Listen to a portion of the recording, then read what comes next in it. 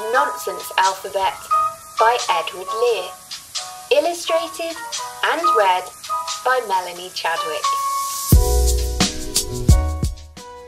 A was an ant who hardly stood still and who made a nice house in the side of a hill. Nice little ant. B was a book with a binding of blue and pictures and stories for me and for you. Nice little book.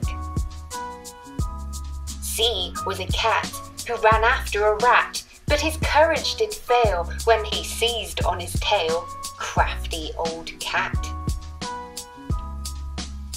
D was a duck with spots on his back who lived in the water and always said quack. Dear little duck. E was an elephant, stately and wise.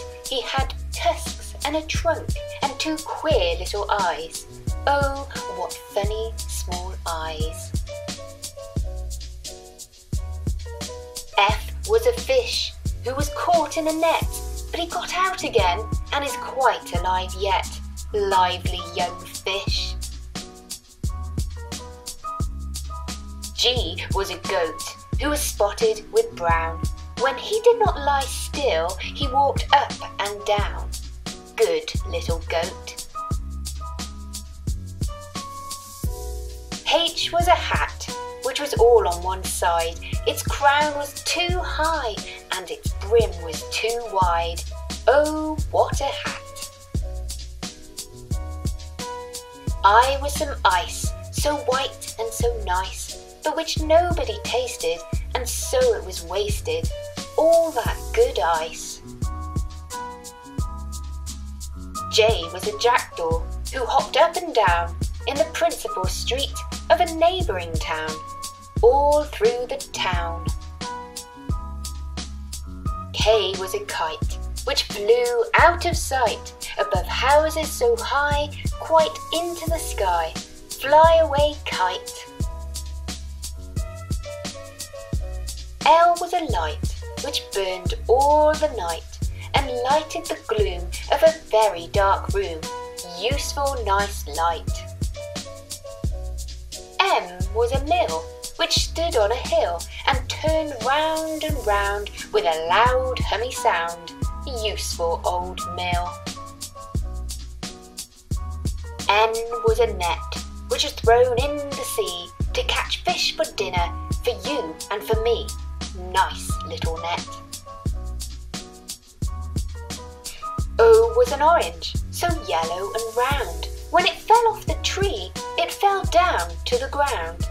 Down to the ground. P was a pig, who was not very big, but his tail was too curly, and that made him surly. Cross little pig. Q was a quail with a very short tail, and he fed upon corn in the evening and morn. Quaint little quail. R was a rabbit who had a bad habit of eating the flowers in gardens and bowers. Naughty fat rabbit. S was the sugar tongs, sippity see, to take up the sugar to put in our tea. Sippity see. T was a tortoise, all yellow and black.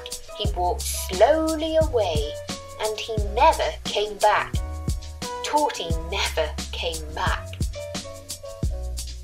U was an urn, all polished and bright, and full of hot water, at noon and at night. Useful old urn. V was a villa, which stood on a hill, by the side of a river, and close to a mill. Nice little villa. W was a whale with a very long tail, whose movements were frantic across the Atlantic. Monstrous old whale. X was King Xerxes, who more than all Turks is renowned for his passion of fury and passion. Angry old Xerxes. Y was a yew which flourished and grew by a quiet abode near the side of a road. dark little yew. And Z was some zinc, so shiny and bright, which caused you to wink in the sun's merry light. Beautiful zinc.